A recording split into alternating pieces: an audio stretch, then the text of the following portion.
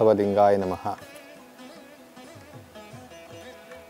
ಬಸವ ವಾಹಿನಿಯ ವೀಕ್ಷಕ ಬಂಧುಗಳಿಗೆ ನನ್ನ ಭಕ್ತಿಪೂರ್ವಕ ಶರಣು ಶರಣಾರ್ಥಿಗಳು. ಬಸವಣ್ಣನವರು ಒಬ್ಬ ವಿಶ್ವಮಾನವ. ಅವರ ದೃಷ್ಟಿ ವಿಶ್ವದೃಷ್ಟಿ. ಅವರ ಆಲೋಚನೆ ವಿಶ್ವವ್ಯಾಪಿ. ಅವರ ನಿರ್ಧಾರಗಳು ಎಂದೆಂದಿಗೂ ಎಂದೆಂದಿಗೂ ಪ್ರಸ್ತುತ.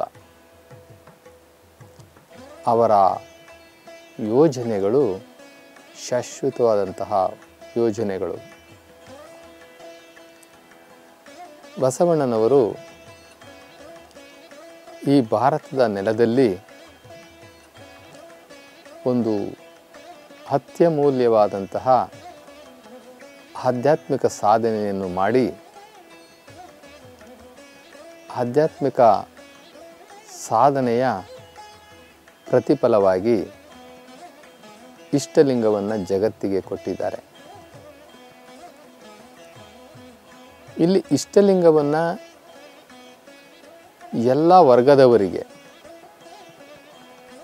ದಲಿತ ವರ್ಗ ಇರಬಹುದು, ಹಿಂದುಳಿದ ವರ್ಗ, ಮುಂದುವರಿದ ವರ್ಗ, ಯಾವುದೇ ವರ್ಗ ಇರಬಹುದು ಸಮುದಾಯವಿರಬಹುದು ಈ ಭಾರತದ ಮಣ್ಣಲ್ಲಿ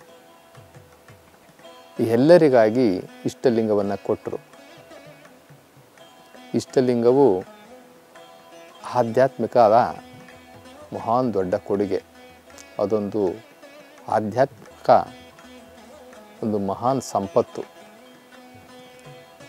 ಇಷ್ಟಲಿಂಗವನ್ನು ಅವರು ಏನಕ್ಕೆ ಕೊಟ್ಟರು ಬೇರೆ ಏನಾದರೂ ಕೊಡ್ಬೋದಾಗಿತ್ತಲ್ಲ?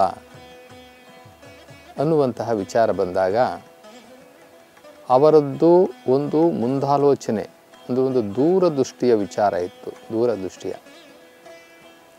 ಈ ನಾಡನ್ನು ಒಂದು ಮಾಡಬೇಕಂತಂದರೆ ಎಲ್ಲರೂ ಅಣ್ಣ ತಮ್ಮಂದಿರಾಗಿ, ಅಕ್ಕ ತಂಗಿಯರಾಗಿ, ಒಂದು ಕುಟುಂಬದವರಾಗಿ ಒಂದೇ ಮಹಾಮನೆಯ ಸದಸ್ಯರಾಗಿ ಬದುಕಬೇಕು, ಬಾಳಬೇಕು ಅನ್ನುವಂತಿದ್ದರೆ ಇವರೆಲ್ಲರೂ ಸೇರಿ ಒಂದೇ ದೇವರನ್ನು ಪೂಜೆ ಮಾಡಬೇಕು.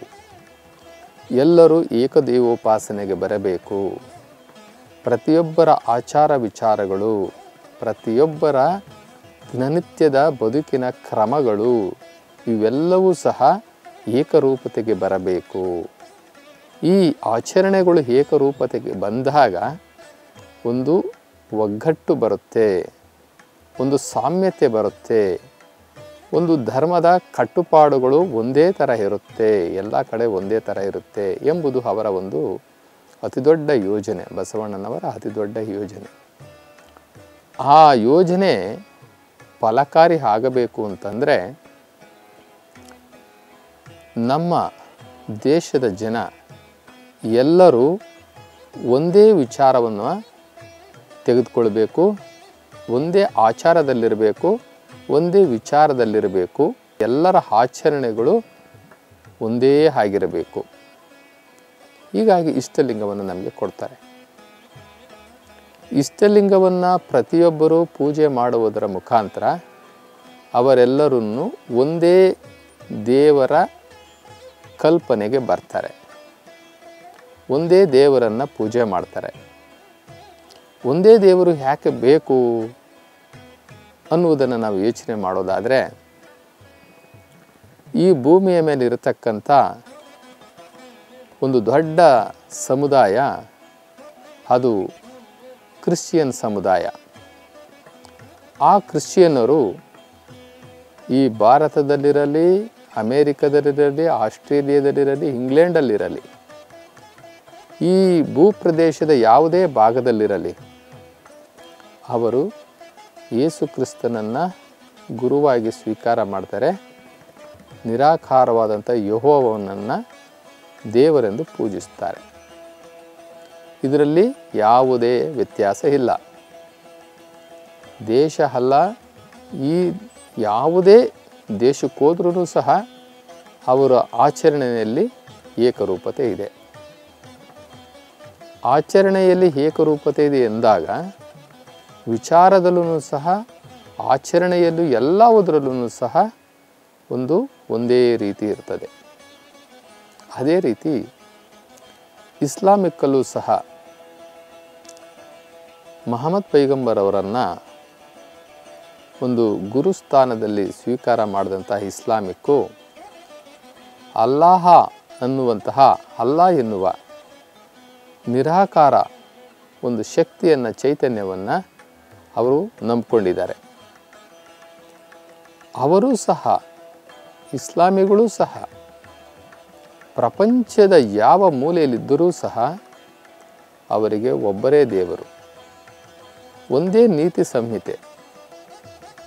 ಈ ದೇಶದಲ್ಲಿ ಏನಿದೆಯೋ ಮತ್ತೊಂದು ದೇಶದಲ್ಲೂ ಅದೇ ಇದೆ. ಆ ದೇಶದಲ್ಲಿ ಏನಿದೆಯೋ ಮತ್ತೊಂದು ಪಕ್ಕದ ದೇಶದಲ್ಲೂ ಅದೇ ಇದೆ. ಹೀಗಾಗಿ ಅಲ್ಲಿ ಏಕರೂಪತೆ ಬರುತ್ತೆ. ಏಕರೂಪತೆ ಬಂದಾಗ ಸೋದರತೆ ಬರ್ತದೆ. ಸೋದರತೆ ಬಂದಾಗ ಮಾನವೀಯತೆ ಬರ್ತದೆ, ಪ್ರೀತಿ ಬರ್ತದೆ, ಪ್ರೇಮ ಬರ್ತದೆ. ಇಂತಹ ಒಂದು ಕನಸವನ್ನು ನಮ್ಮ ಭಾರತ ದೇಶದಲ್ಲಿ ಬಸವಣ್ಣನವರು ಕಂಡರು. ಭಾರತದ ನೆಲದಲ್ಲಿರುವವರಿಗೆ ಮೊದಲು ಅವರು ಒಂದೇ ದೇವರನ್ನು ಧ್ಯಾನ ಮಾಡಬೇಕು, ಒಂದೇ ದೇವರನ್ನು ಪೂಜೆ ಮಾಡಬೇಕು. ಎಲ್ಲರನ್ನೂ ಒಂದು ದೇವರನ್ನು ಪೂಜೆ ಮಾಡುವುದರ ಮುಖಾಂತರ ಒಂದೇ ವ್ಯವಸ್ಥೆಗೆ ತರಬೇಕು ಎಂಬುದಾಗಿ ಇಷ್ಟಲಿಂಗವನ್ನು ಆಧ್ಯಾತ್ಮಿಕ ಒಂದು ದೊಡ್ಡ ಕೊಡುಗೆಯಾಗಿ ನಮಗೆ ನೀಡ್ತಾರೆ. ನಾವು ಲಿಂಗಧಾರಿಗಳಾಗಿ, ಲಿಂಗವನ್ನೇ ನಾವು ಇಡೀ ದೇಶದಲ್ಲಿ ನಾವು ಇಟ್ಕೊಂಡಿದ್ದೆ ಹೇಗಿದ್ದಿದ್ರೆ, ಈ ಅಖಂಡ ಭಾರತ ಒಂದೇ ಇರ್ತಾ ಇತ್ತು ಲಿಂಗ ಪೂಜಕರಾಗಿ. ಅದು ಲಿಂಗ ಏನು? ಒಂದು ವ್ಯಕ್ತಿಯ ರೂಪ ಅಲ್ಲ. ವ್ಯಕ್ತಿಯ ಸಂಕೇತ ಅಲ್ಲ. ಅಥವಾ ಯಾವುದೋ ಮೂಢನಂಬಿಕೆಯ ಕಲ್ಪನೆಯಲ್ಲ. ಇಷ್ಟಲಿಂಗ ಅದು ಬ್ರಹ್ಮಾಂಡ. ಬ್ರಹ್ಮಾಂಡದ ಪ್ರತಿರೂಪ, ಬ್ರಹ್ಮಾಂಡದ ಸಾಕಾರ ರೂಪ. ಯಾರು ಅಳವಡಿಸಿಕೊಳ್ಳಬೇಕಾಗಿತ್ತು ಅವರು ಅಳವಡಿಸ್ಕೊಳ್ಳಿಲ್ಲ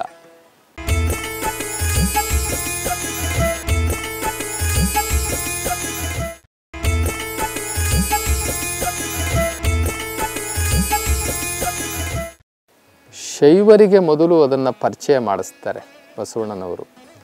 ಶೈವರಿಗೆ ಪರಿಚಯ ಮಾಡಿಸಿ, ಶೈವರಿಗೆ ಇಷ್ಟಲಿಂಗವನ್ನು ಕೊಟ್ಟು, ನಂತರ ಈ ಹಿಂದೂ ಸಮಾಜದಲ್ಲಿರ್ತಕ್ಕಂಥ ಇತರ ಎಲ್ಲ ಸಮುದಾಯದವರಿಗೆ, ಕಾಯಕ ಜೀವಿಗಳಿಗೆ, ಕಾಯಕ ಯೋಗಿಗಳಿಗೆ ಎಲ್ಲರಿಗೂ ಸಹ ಈ ಇಷ್ಟಲಿಂಗವನ್ನು ಪರಿಚಯ ಮಾಡ್ತಾ ಹೋಗ್ತಾರೆ. ಅದೆಂಥ ಅತಿ ದೊಡ್ಡ ಕಲ್ಪನೆ. ಇಷ್ಟು ದೊಡ್ಡ ಕಲ್ಪನೆಯನ್ನು ಯಾವುದೇ ದಾರ್ಶನಿಕರು ಈ ನೆಲದ ಮಣ್ಣಲ್ಲಿ ಹುಟ್ಟಿದಂಥವರು ಇಷ್ಟು ದೂರದೃಷ್ಟಿಯಲ್ಲಿ ಅಖಂಡ ಭಾರತವನ್ನು ಒಂದು ಮಾಡಬೇಕು ಅನ್ನುವಂತಹ ಕನಸು ಕಂಡಂಥ ದಾರ್ಶನಿಕರು ಯಾರೂ ಇಲ್ಲ. ಆದರೆ ನಾವು ಆ ಕಾಲಮಾನಕ್ಕಾಗಲೇ ಏಕದೇವೋಪಾಸರಾಗಿದ್ದಂತಹ ಏಕದೇವೋಪಾಸನೆಯಲ್ಲೇ ಇದ್ದಂತಹ ಈ ಶೈವರೂ ಸಹ, ಈ ಶೈವರು ಸಹ ಬಹುದೇವೋಪಾಸಕರಾಗಿದ್ದರು. ಆಗೋಗಿಬಿಟ್ಟಿದ್ದರು ಈ ವೈಷ್ಣವ ಸಹವಾಸದಿಂದ, ಈ ವೈಷ್ಣವ ಅನ್ನುವಂತಹ ಬಹುದೇವೋಪಾಸಕರ ಸಂಘದಲ್ಲಿ ಈ ಏಕದೇವೋಪಾಸಕರು ಎನ್ನುವಂತಹ ಈ ಶೈವರು ಬೆರೆತು, ಅವರು ಸಹ ಬಹುದೇವೋಪಾಸಕರಾಗಿ ಬಿಟ್ಟಿದ್ದರು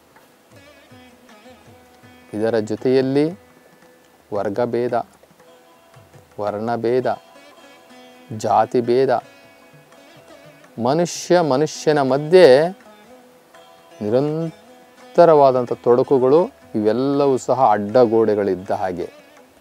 ಒಂದು ಸಮುದಾಯಕ್ಕೂ ಮತ್ತೊಂದು ಸಮುದಾಯಕ್ಕೂ ಈ ರೀತಿಯ ಅಡ್ಡಗೋಡೆಗಳು. ಯಾರನ್ನು ಯಾರೂ ಸೇರಲಿಕ್ಕೆ ಸಾಧ್ಯವಾಗ್ತಾ ಇಲ್ಲ. ಆಚಾರದಲ್ಲಿ ಹೊಂದಾಣಿಕೆ ಆಗ್ತಾ ಇಲ್ಲ, ವಿಚಾರದಲ್ಲಿ ಹೊಂದಾಣಿಕೆ ಆಗ್ತಾ ಇಲ್ಲ, ಆರಾಧನೆಯಲ್ಲಿ ಹೊಂದಾಣಿಕೆ ಆಗ್ತಾ ಇಲ್ಲ. ಈ ರೀತಿ ವಿಭಿನ್ನತೆಯಿಂದ ಕೂಡಿದ್ದಂತಹ ಈ ಸಮಾಜವನ್ನು ಒಂದು ಮಾಡಲು, ಒಂದೇ ತಕ್ಕಡಿಗೆ ತರಲು, ಒಂದೇ ಪ್ಲಾಟ್ಫಾರಮ್ಗೆ ತರಲು ಪ್ರಯತ್ನಿಸಿದಂತಹ ದಾರ್ಶನಿಕರಲ್ಲಿ ಗುರು ಬಸವಣ್ಣನವರು ಮೊದಲಿಗೆ ಆಗಿ ನಿಲ್ತಾರೆ. ಅವರಷ್ಟು ದೂರದೃಷ್ಟಿಯಲ್ಲಿ ಕನಸು ಕಂಡಂತಹವರು ಬಹುಶಃ ಯಾರೂ ಇರಲಿಕ್ಕಿಲ್ಲ. ಇವರು ಎಷ್ಟು ಕಷ್ಟ ಬೀಳ್ತಾರೆ ಅಂದರೆ ಈ ಶೈವರು ಆರಾಧನೆ ಮಾಡ್ತಾ ಇದ್ದಂತಹ ಬಹುದೈವೋಪಾಸನೆಯನ್ನು ತಡೆಯಲು ಪ್ರಾಯೋಗಿಕವಾಗಿ ಈ ಶೈವರನ್ನೇ ತೆಗೆದುಕೊಳ್ತಾರೆ. ಏಕೆ ಅಂತಂದರೆ ಅದು ಏಕದೈವೋಪಾಸಕರಾಗಿದ್ದಂತಹ ಈ ಶೈವರಿಂದಲೇ ಪ್ರಾರಂಭ ಆಗಬೇಕು. ಬಹುದೇವೋಪಾಸನೆಯನ್ನು ಬಿಡೋದಕ್ಕೆ. ಎಷ್ಟೋ ವಿರೋಧಗಳನ್ನು ಅವರು ಎದುರಿಸಬೇಕಾಗುತ್ತೆ. ಆ ಕಾಲಘಟ್ಟಕ್ಕೆ ಬ್ರಹ್ಮ, ವಿಷ್ಣು, ಮಹೇಶ್ವರರೇ ಅತ್ಯಂತ ಶ್ರೇಷ್ಠವಾದಂತಹ ದೇವರುಗಳು. ಇವರೇ ಈ ಸೃಷ್ಟಿಯನ್ನು ಸೃಷ್ಟಿ ಮಾಡಿದ್ದು. ಈ ಸೃಷ್ಟಿ ಸ್ಥಿತಿ ಲಯಕ್ಕೆ ಇವರೇ ಕಾರಣಕರ್ತರು ಎನ್ನುವಂತಹ ನಂಬಿಕೆ ಬಲವಾಗಿ ಅಂದಿನ ಜನಗಳ ತಲೆಯಲ್ಲಿ ಬೇರೂರಿತ್ತು. ಅಷ್ಟು ಸುಲಭನಾಗಿ ಅದನ್ನು ಕಿತ್ತು ಹಾಕಿ ಏಕದೈವೋಪಾಸನೆಯನ್ನು ಪ್ರತಿಷ್ಠಾಪನೆ ಮಾಡುವುದು ಅಷ್ಟೊಂದು ಕಷ್ಟವಾಗಿತ್ತು. ಹೀಗಾಗಿ ಏಕದೈವೋಪಾಸನೆಯನ್ನು ಮಾಡುವವರಿಗೆ ನಾವು ಮೊದಲು ತಯಾರು ಮಾಡಬೇಕಲ್ಲ? ಹೀಗಾಗಿ ನಾವು ಏನು ತ್ರಿಮೂರ್ತಿಗಳನ್ನು ಪೂಜೆ ಮಾಡ್ತಾ ಇದ್ವಿ, ಈ ತ್ರಿಮೂರ್ತಿಗಳು ದೇವರುಗಳಲ್ಲ. ದಯಮಾಡಿ ಇವನ್ನು ಬಿಟ್ಟುಬಿಡಿ, ಈ ಪೂಜೆಯನ್ನು ಬಿಟ್ಟುಬಿಡಿ. ಈ ತ್ರಿಮೂರ್ತಿಗಳಿಗೂ ಅಂತ ಮಿಗಿಲಾದಂತಹ ಒಂದು ಅಗೋಚರ ಶಕ್ತಿ ಇದೆ. ಆ ಅಗೋಚರ ಶಕ್ತಿಯೇ ಶಿವ, ಆ ನಿರಾಕಾರ ಶಿವ. ಆ ಶಿವನನ್ನು ನೀವು ಪೂಜೆ ಮಾಡಿ, ಪ್ರಾರ್ಥನೆ ಮಾಡಿ, ಧ್ಯಾನ ಮಾಡಿ, ಯೋಗ ಮಾಡಿ ಈ ತ್ರಿಮೂರ್ತಿಗಳನ್ನು, ಈ ಕಾಲ್ಪನಿಕ ತ್ರಿಮೂರ್ತಿಗಳನ್ನು ನೀವು ಬಿಟ್ಟುಬಿಡಿ ಅಂತ ಹೇಳಿ ನಮ್ಮ ಶರಣರು ಅನೇಕ ಅನೇಕ ಉದಾಹರಣೆಗಳನ್ನು ಕೊಡ್ತಾರೆ. ದೃಷ್ಟಾಂತಗಳನ್ನು ಹೇಳ್ತಾರೆ, ಉದಾಹರಣೆಗಳನ್ನು ಹೇಳ್ತಾರೆ, ಘಟನೆಗಳನ್ನು ಹೇಳ್ತಾರೆ. ಆ ಘಟನೆಗಳಿಗೆ ತರ್ಕಬದ್ಧವಾದಂತಹ ವಿಚಾರಗಳನ್ನು ಸಹ ಹೇಳ್ತಾರೆ. ಇಲ್ಲಿ ವಿಷ್ಣು ವಿಷ್ಣು ಹತ್ತು ಅವತಾರ ಎತ್ತಿದವನು ದೇವರಾಗಲು ಹೇಗೆ ಸಾಧ್ಯ? ಒಂದು ಜನ್ಮಕ್ಕೆ ನಾವು ಪರಮಾತ್ಮನನ್ನು ಬೇಡ್ಕೊಳ್ತೀವಿ, ಇದೊಂದೇ ಜನ್ಮ ಕಡೆ ಮಾಡಪ್ಪ. ಈ ಜನ್ಮವನ್ನು ಸಾಕು ಮಾಡು. ಮತ್ತೆ ಈ ಭೂಲೋಕದಲ್ಲಿ ನಮ್ಮನ್ನು ಹುಟ್ಟಿಸ್ಬೇಡ ಅಂತ ಹೇಳುವಂತಹ ಸಂದರ್ಭದಲ್ಲಿ ಹತ್ತು ಅವತಾರಗಳನ್ನು ಹತ್ತು ಜನ್ಮ ಎತ್ತಲಿಕ್ಕೆ ಈ ವಿಷ್ಣು ಏನು ಒಂದೊಂದು ಜನ್ಮದಲ್ಲೂ ಪಾಪ ಮಾಡ್ತಾನೆ ಇದ್ನಾ ಅನ್ನುವಂಥದ್ದು ಬರುತ್ತೆ. ಇಲ್ಲಿ ಹತ್ತು ಜನ್ಮ ಎತ್ತಿ ವಿಷ್ಣು ಹತ್ತತ್ತು ಕುಟುಂಬಗಳನ್ನು ಕಟ್ಕೊಂಡು ಹತ್ತತ್ತು ಸಂಸಾರಗಳನ್ನು ಮಾಡಿ, ಅದರಿಂದ ಉತ್ಪತ್ತಿಯಾದಂಥ ಮಕ್ಕಳುಗಳು ಅವರೆಲ್ಲ ದೇವರ ಸ್ವರೂಪವನ್ನು ಪಡೆದು, ಹೀಗಾಗಿ ಬಹುದೇವೋಪಾಸನೆಗೆ ಒಂದು ಮಾರ್ಗ ಆದಂಥದ್ದು. ಇಲ್ಲಿ ವಿಷ್ಣುನೇ ನೀವು ದೇವರು ಅನ್ನೋದಾದರೆ ಅದು ಹೇಗೆ ಸಾಧ್ಯ? ಸಾಧ್ಯ ಇಲ್ಲ. ಅವನು ವಿಷ್ಣು ಈ ಬ್ರಹ್ಮಾಂಡವನ್ನು, ಈ ಸೃಷ್ಟಿಯನ್ನು ಸೃಷ್ಟಿಸಲು ಸಾಧ್ಯವಿಲ್ಲ. ಯಾರು ಭೂಮಿಯ ಮೇಲೆ ಜನ್ಮವನ್ನು ತೆಗೆದುಕೊಳ್ತಾರೆ. ಜನ್ಮವನ್ನು ತೆಗೆದುಕೊಂಡ ನಂತರ ಮರಣಕ್ಕೆ ಒಳಗಾಗ್ತಾರೆ. ಆ ಮರಣ ಮತ್ತು ಹುಟ್ಟುಗಳ ಮಧ್ಯೆ ಈ ಪಂಚಭೂತಗಳ ಹಿಡಿತಕ್ಕೆ ಒಳಗಾಗಿ, ಈ ಮಾಯಾ ಪ್ರಪಂಚಕ್ಕೆ ಬಲಿಯಾಗಿ ಅನೇಕ ಕಷ್ಟ ನಷ್ಟಗಳನ್ನು ಅನುಭವಿಸ್ತಾರೆ. ಅವರು ದೇವರಾಗಲಿಕ್ಕೆ ಸಾಧ್ಯ ಇಲ್ಲ ಎಂಬುದಾಗಿ ನಮ್ಮ ಶರಣರು ಅವರ ಪ್ರವಚನಗಳ ಮುಖಾಂತರ, ಅವರ ವಚನಗಳ ಮುಖಾಂತರ ಸಾಮಾನ್ಯ ಜನಕ್ಕೆ ತಿಳುವಳಿಕೆಯನ್ನು ಕೊಡ್ತಾ ಹೋಗ್ತಾರೆ. ಅದರಲ್ಲಿ ಒಂದು ವಚನ, ವಿಷ್ಣುವ ಬಗ್ಗೆ ಮತ್ತು ಬ್ರಹ್ಮನ ಬಗ್ಗೆ, ಶಿವನ ಬಗ್ಗೆ ಒಂದು ವಚನ ಇದೆ. ಆ ವಚನದಲ್ಲಿ ಹೇಳ್ತಾರೆ, ಯೋನಿಜನಾಗಿ ದಶ ಅವತಾರಕ್ಕೆ ಒಳಗಾದಲ್ಲಿ ದೇವಪದ ಹೋಗಿತ್ತು. ಅವರಿಗೆ ಶಿಕ್ಷೆನೂ ಆಗಿದೆ ಅಂತ ಹೇಳ್ತಾ ಇದ್ದಾರೆ. ನಮ್ಮ ಶರಣರು, ಈ ರೀತಿ ಅವರು ನಾವೇ ದೇವರು ನಾವೇ ದೇವರು ಅಂತ ಹೇಳ್ಕೊಂಡಿದ್ದಕ್ಕೆ ಆ ಸೃಷ್ಟಿಕರ್ತ ಪರಮಾತ್ಮ ಅವರಿಗೆ ಶಿಕ್ಷೆಯನ್ನು ಕೊಟ್ಟಿದ್ದಾನೆ ಎಂಬುದಾಗಿ ನಮ್ಮ ವಚನಕಾರ ಹೇಳಿದ್ದಾರೆ. ಏನು ಅಂತಂದರೆ, ಯೋನಿಜನಾಗಿ ಎಲ್ಲರೂ ಎಲ್ಲಿ ಹುಟ್ಟುತ್ತಾರೋ ಅಲ್ಲೇ ಹಾಗೆ ಅವರು ಹುಟ್ಟಿದ್ದಾರೆ. ಹುಟ್ಟಿದ್ದವ ದಶ ಅವತಾರಕ್ಕೆ ಒಳಗಾದಲ್ಲಿ ಒಳಗಾದಲ್ಲಿ ಅವನಿಗೆ ಹುಟ್ಟು ಸಾವುಗಳು ಬಂತು ಅಂತಂದರೆ ಅವನು ದೇವರಾಗಲಿಕ್ಕೆ ಸಾಧ್ಯವಿಲ್ಲ ಎಂಬುದಾಗಿ ಸ್ಪಷ್ಟೀಕರಣ ಮಾಡ್ತಾ ಇದ್ದಾರೆ.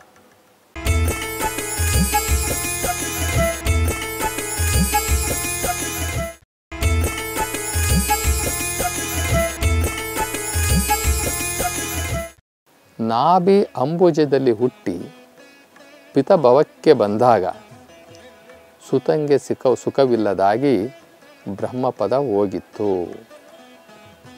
ಇಲ್ಲಿ ಸಂಹಾರ ಕಾರಣನಾಗಿ ಯಾರು? ಶಿವ. ಅಂದರೆ ಈ ಕಾಲ್ಪನಿಕ ಶಿವ ಅಂತ ನಾವೇನು ಕರಿತಾ ಇದ್ದೀವಿ? ಆ ಶಿವ ಈಶ್ವರ, ಕಪಾಲ, ಶೂಲ, ನಾಟ್ಯಾಂಬರನಾಗಿ ಇದ್ದುದರಿಂದ ಈಶ್ವರದ ಪದ ನಿಂತಿತ್ತು ರುದ್ರ ಪದ ಹೋಗಿತ್ತು. ಏನು ಈಶ್ವರ, ರುದ್ರ ಅಂತವೆಲ್ಲ ಕರೆದಿತ್ತಲ್ಲ, ಅವೆಲ್ಲವೂ ಕೂಡ ಹೋಯಿತು, ಮತ್ತು ಅವನು ಭಿಕ್ಷೆ ಬೇಡಂಗಾಯಿತು. ಕಪಾಲ ಶೂಲ ನಾಟ್ಯಾಂಬರನ್ನು ಸಹ ಅವನು ಭಿಕ್ಷೆ ಬೇಡಂಗಾಯಿತು. ಈ ಮೂರೂ ಜನ ಈ ರೀತಿ ಅಂತ್ಯ ಆದರು. ಅವರು ಯಾರೂ ಉಳಿದಿಲ್ಲ. ಅವರ ಶರೀರ ಇಲ್ಲ ಇವಾಗ, ಈ ಭೂಮಿ ಇಲ್ಲ. ಅವರೆಲ್ಲರೂ ಶರೀರವನ್ನು ಬಿಟ್ಟಿದ್ದಾರೆ. ಇವರೆಲ್ಲರೂ ಕೂಡ ನಮ್ಮ ಕಣ್ಣು ಮುಂದೆ ಆಗಲಿ ಅವ್ರದ್ದು ಏನು ಇತಿಹಾಸ ಉಳ್ಕೊಂಡಿಲ್ಲ. ಯಾಕೆಂದರೆ ಅವರು ನಾವೇ ದೇವರು ಅಂತ ಅವರು ತೋರಿಸ್ಕೊಂಡ್ರು, ಮತ್ತು ಜನ ಅದನ್ನು ಒಪ್ಕೊಂಡ್ರು. ಈಗ ಒಪ್ಕೊಂಡರೂ ಇಲ್ಲ, ನಾನು ದೇವರು ಅಂತ ಹೇಳ್ಕೊಂಡವರು ಇಲ್ಲ. ಅದಕ್ಕೆ ಹೇಳ್ತಾರೆ ಮುಂದಕ್ಕೆ, ಇಂಥಿ ತ್ರಿವಿಧವನರಿತು ತೊಲಗಿ ನಿಂದಲ್ಲಿ ಇವೆಲ್ಲವನ್ನು ಬಿಟ್ಟಾಗ ಇವೆಲ್ಲರೂ ಬಂದರು, ಹೋದರು ಹೋದರು, ಬಂದರು. ಕೊನೆಗೆ ಉಳ್ಕೊಂಡಿದ್ದು ಯಾರು ಅಂತಂದರೆ ಸದಾಶಿವ ಮೂರ್ತಿ ಲಿಂಗದ ನೆಲೆಯಾಯಿತು. ಕೊನೆಗೆ ಉಳ್ಕೊಂಡಿದ್ದು ಯಾರು ಅಂತಂದರೆ ಸದಾಶಿವ ಮೂರ್ತಿ ಲಿಂಗ. ಈ ಲಿಂಗ ಸದಾಶಿವ ಅಂತಂತಂದಾಗ ಈ ನಿರಾಕಾರ ಪರಮಾತ್ಮ. ನಿರಾಕಾರ ಪರಮಾತ್ಮನನ್ನು ಸದಾಶಿವ ಅಂತೇಳ್ಬಿಟ್ಟು ನಮ್ಮ ಶರಣರು ಕರೀತಾರೆ. ಕೊನೆಗೆ ಶಾಶ್ವತವಾಗಿ ಉಳ್ಕೊಂಡಿದ್ದು ಈ ಸದಾಶಿವ ಮೂರ್ತಿ ಲಿಂಗ. ಉಳಿದವರು ಬಂದರು ಒಂದಷ್ಟು ದಿನ ಮೆರೆದರು, ನಾನು ದೇವರು ದೇವರು ದೇವರು ಅಂತ ಹೇಳಿಕೊಂಡ್ರು, ಒಂದು ದಿನ ಅವರೆಲ್ಲರೂ ಸಹ ಕಾಲವಾದರು. ಪ್ರಕೃತಿ ನಿಯಮಕ್ಕೆ ಒಳಗಾಗಿ ಅವರು ಕಾಲವಾದರು. ಆದರೆ ಕೊನೆಗೆ ಉಳ್ಕೊಂಡಿದ್ದ್ಯಾರು ಸದಾಶಿವ ಮೂರ್ತಿ ಲಿಂಗ ಒಂದೇ ಕೊನೆಗೆ ಉಳ್ಕೊಂಡಿದ್ದು ಎಂಬುದಾಗಿ ನಮ್ಮ ಶರಣರು ಹೇಳುತ್ತಾರೆ ಮತ್ತೆ ಮುಂದುವರೆದು ಈ ಜನಗಳಿಗೆ ನಂಬಿಕೆ ಬರೆಸಬೇಕಲ್ಲ, ಒಂದೇ ಸಲ ನಮ್ಮ ಜನ ಬಹುದೇವೋಪಾಸನೆಯನ್ನು ಬಿಟ್ಟು ಏಕದೈವೋಪಾಸನೆಗೆ ಬರೋದಿಲ್ಲ. ಅವರಿಗೆ ಮತ್ತೊಂದು ವಚನದಲ್ಲಿ ಹೇಳ್ತಾರೆ, ಸೃಷ್ಟಿ ಪಾಲಕ, ಅಂದರೆ ಈ ಸೃಷ್ಟಿಯನ್ನು ಪಾಲನೆ ಮಾಡ್ತಾ ಇರ್ತಕ್ಕಂಥ ಸೃಷ್ಟಿ ಪಾಲಕ ಪ್ರತಿಕೂಲನಾದರೆ, ಅಂದರೆ ಏನಾದರೂ ಆತನಿಗೆ ಸಿಟ್ಟು ಬಂದರೆ ಏನು ಮಾಡ್ತಾನೆ? ಬ್ರಹ್ಮನ ಶಿರವನ್ನು ಚಿವುಟಿ ಬಿಡ್ತಾನೆ ಅಂತ ಹೇಳ್ತಾರೆ ಒಂದು ವಚನದಲ್ಲಿ. ಸೃಷ್ಟಿ ಪಾಲಕ ಪ್ರತಿಕೂಲವಾದೊಡೆ ಸಿಟ್ಟುಗಟ್ಟಿ ಚೂಟನೇ ಬ್ರಹ್ಮನ ಶಿರವ ಅಂತ ಹೇಳ್ತಾರೆ. ಏನು ನಾನೇ ಇದನ್ನು ಸೃಷ್ಟಿ ಮಾಡಿದ್ದು? ನಾನು ಬ್ರಹ್ಮ. ಈ ಬ್ರಹ್ಮಾಂಡವನ್ನು ನಾನೇ ಸೃಷ್ಟಿ ಮಾಡಿದ್ದು ಅಂತ ಅಂದರೆ ಇದನ್ನೇನಾದರೂ ಕೇಳಿಸ್ಕೊಂಡ್ರೆ ಆ ಪರಮಾತ್ಮ ಆ ಶಾಶ್ವತವಾಗಿರ್ತಕ್ಕಂಥ ಸೃಷ್ಟಿಕರ್ತ ಈ ಬ್ರಹ್ಮನ ಶಿರವನ್ನು ಚಿವುಟಿ ಬಿಸಾಕ್ಬಿಡ್ತಾನೆ ಅಂತ ಹೇಳ್ತಾ ಇದ್ದಾರೆ. ಅವನಿಗೊಡೆಯ ನಾನೆಂದೊಡೆ? ಯಾರಿಗೆ? ಆ ಸೃಷ್ಟಿಕರ್ತನಿಗೆ ಒಡೆಯ ನಾನು ಅಂತ ಅಂದರೆ ಬಂಧನದಲ್ಲಿರಿಸನೇ, ಬಂಟನಿಂದ ಬಲಿಯ ಅಂತ ಹೇಳ್ತಾರೆ. ನಾವು ಹೇಳ್ತೀವಿ ನೋಡ್ರಿ ಏನಾದ್ರೂ ಈ ಸೊತ್ತು ನಂದು ಅಂತಂದರೆ ನಿನ್ನ ಏನು ಮಾಡಿಬಿಡ್ತೀವಿ ನೋಡು ಅಂತ ನಾವು ಒಳಗಡೆ ಹಾಕಿಸ್ಬಿಡ್ತೀವಿ ಅಂತ ನೋಡ್ರಿ. ಹಾಗೆ ಹೇಳ್ತಾ ಇದ್ದಾರೆ ಇಲ್ಲಿ ಶರಣರು. ಅವನಿಗೊಡೆಯ ನಾನೆಂದೊಡೆ ಬಂಧನದಲ್ಲಿರಿಸನೇ ಬಂಟನಿಂದ ಬಲಿಯ ಅಂತ ಹೇಳ್ತಾರೆ. ಇದೆಲ್ಲವೂ ನಂದೇ ಅಂದರೆ ನಿಮ್ಮ ಬಂಧನಕ್ಕೆ ಒಳಗೆ ಮಾಡಿಸ್ಬಿಡ್ತಾರೆ ಪರಮಾತ್ಮ. ಜಗವಂದ್ಯ ವಿರಹಿತನಾಗಿ ಭೂಮಿಯನ ಭೂಮಿಯನ್ನು ಹಳೆದು ಕೊಡುವಂಗೆ. ಏ, ಈ ಭೂಮಿ ನಾನು ಯಾವುದೋ ಒಂದು ವಿಷ್ಣು ಅವತಾರದಲ್ಲಿ ಬರ್ತದೆ, ಭೂಮಿನ ಹಳ್ಕೊಳ್ತಾನಂತೆ, ಭೂಮಿನ ಹಳೆದು ಕೊಡ್ತಾನಂತೆ. ಆ ಒಂದು ವಿಚಾರಕ್ಕೆ ಸಂಬಂಧಪಟ್ಟಂತಹ ವಚನ, ಈ ಭೂಮಿಯನ್ನು ಹಳೆದು ಕೊಟ್ಟರೆ ಅವನಿಗೇನು ಶಿಕ್ಷೆ ಆಗುತ್ತೆ ಅಂದರೆ, ಕಾಲಿಗೆ ಬಿದ್ದು ಕ್ಷಮೆ ಕೇಳ್ಕೊಳ್ಬೇಕು, ಆ ಥರ ಮಾಡಿಬಿಡ್ತಾನೆ ಪರಮಾತ್ಮ. ಕಾಲ ಬಿದ್ದು ಕಾಲಲ್ಲಿ ಇರಿಸನೇ ಹರಿಯ ಅಂತ ಕೇಳ್ತಾರೆ. ಏನು ಯಾರ್ದು ಅಂತ ಅಳ್ಕೊಡ್ತಾರೆ? ಈ ಭೂಮಿ ನಂದು, ಈ ಸೃಷ್ಟಿ ನಂದು ಅಂತ ವಚನಕಾರರು ಈ ತ್ರಿಮೂರ್ತಿಗಳ ಶಕ್ತಿಯನ್ನು ಕುಂದಿಸ್ತಾ ಇದ್ದಾರೆ. ಆ ನಿರಾಕಾರ ಪರಮಾತ್ಮನ ಶಕ್ತಿಯೇ ಒಂದೇ ನಿಲ್ಲೋದು ಫೈನಲ್ ಅನ್ನೋ ರೀತಿಯಲ್ಲಿ ಹೇಳ್ತಾ ಇದ್ದಾನೆ. ಇದೆಲ್ಲ ಇಂಥ ತಪ್ಪುಗಳನ್ನೆಲ್ಲ ಏನಾದರೂ ಮಾಡಿ ಆ ಪರಮಾತ್ಮನ ಆ ಮಾಲೀಕತ್ವಕ್ಕೆ ಏನಾದ್ರೂ ತೊಂದರೆ ಮಾಡಿದ್ರೆ ಶ್ವಾನವಾಗಿ ಹುಟ್ಟಿಸ್ಬಿಡ್ತಾನೆ, ನಾಯಿಯಾಗಿ ಹುಟ್ಟಿಸ್ತಾನೆ ನಾಯಿಯಾಗಿ ಹುಟ್ಟಿಸ್ತಾನೆ ಎಂಬುದಾಗಿ ಒಂದು ಸಾಲಲ್ಲಿ ಹೇಳ್ತಾರೆ.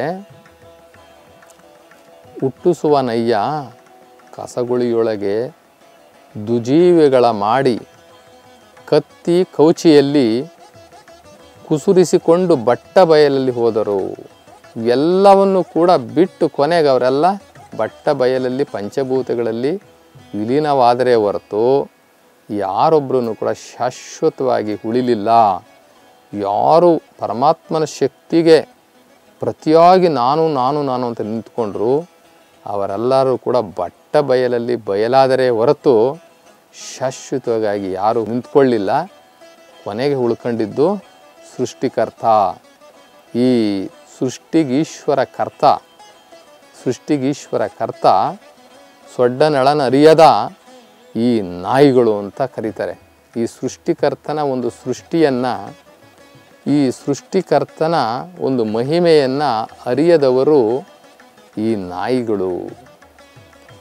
ಯಾರು ಅವನ ಪ್ರತಿರೂಪಕ್ಕೆ ಸರಿಸಾಟಿಯಾಗಿ ನಿಂತ್ಕೊಳ್ಬೇಕು ಅಂತ ಹೋಗ್ತಾರೆ, ಅವರು ಅಜ್ಞಾನಿಗಳು, ಅವರು ಅಶಾಶ್ವತರು. ಅವರು ನಾಯಿಗಳು ಎಂಬುದಾಗಿ ವಚನಕಾರರು ಹೇಳ್ತಾರೆ. ಅಂದರೆ ಅವರ ಒಂದು ವಿಚಾರ ಇಷ್ಟೇ. ಪರಮಾತ್ಮನ ಸ್ಥಾನಕ್ಕೆ ಯಾರೂ ಹೋಗ್ಲಿಕ್ಕೆ ಸಾಧ್ಯ ಇಲ್ಲ. ಯಾರು ಪರಮಾತ್ಮನಿಗಿಂತ ದೊಡ್ಡವರಿಲ್ಲ ಅವನ್ನ ಬಿಟ್ಟರೆ ಯಾವ ತ್ರಿಮೂರ್ತಿಗಳನ್ನು ಸಹ ಇಲ್ಲಿ ಇಲ್ಲ. ಅವರು ನಾನು ನಾನು ಅಂತ ಹೇಳಿಕೊಂಡು ಶಿಕ್ಷೆಗೆ ಒಳಗಾಗಿ ಒಳಗಾಗಿ ಒಳಗಾಗಿ ಅವರು ಮತ್ತೆ ಜನ್ಮ ಹೆತ್ತಂಗಾದರು ಜನ್ಮ ಎತ್ತಂಗಾದರು. ಅಷ್ಟಕ್ಕೂ ಇವ್ರು ಯಾರನ್ನೂ ಸಹ ಸರಿಯಾಗಿ ಪರಮಾತ್ಮನನ್ನು ತಿಳ್ಕೊಳ್ಳಿಲ್ಲ ಅಂತಂದರೆ ಆ ಸೃಷ್ಟಿಗೀಶ್ವರನಾಗಿರ್ತಕ್ಕಂಥ ಅವನ ತಿಳ್ಕೊಳ್ಲಿಲ್ಲ ಅಂತಂದರೆ ಇವರು ನಾಯಿಗಳೇ ಸರಿ ಎಂಬುದಾಗಿ ವಚನಕಾರರು ಹೇಳ್ತಾ ಇದ್ದಾರೆ.